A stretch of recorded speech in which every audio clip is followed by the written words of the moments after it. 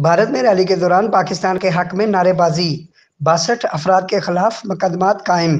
भारतीय रियासत झारखंड में रैली के दौरान पाकिस्तान के हक में नारेबाजी बासठ अफराद के खिलाफ मुकदमा दर्ज कर लिए गए। कश्मीरी मीडिया सर्विस के मुताबिक नारेबाजी का वाक़ जिला हजारीबाग में पंचायत इलेक्शन के दौरान पेश आया, जिसमें जीत की खुशी में पाकिस्तान जिंदाबाद के नारे लगाए जा रहे थे। चार मराहल में मुश्तमिल पंचायती इंतबात में पाकिस्तान के हक में नारेबाजी का ये दूसरा वाक़ है। इससे कबल इक्कीस अप्रैल को जिला ग्रेदी में पाकिस्तान के हक में नारेबाजी करने पर तीन अफराद को गिरफ़्तार किया गया था।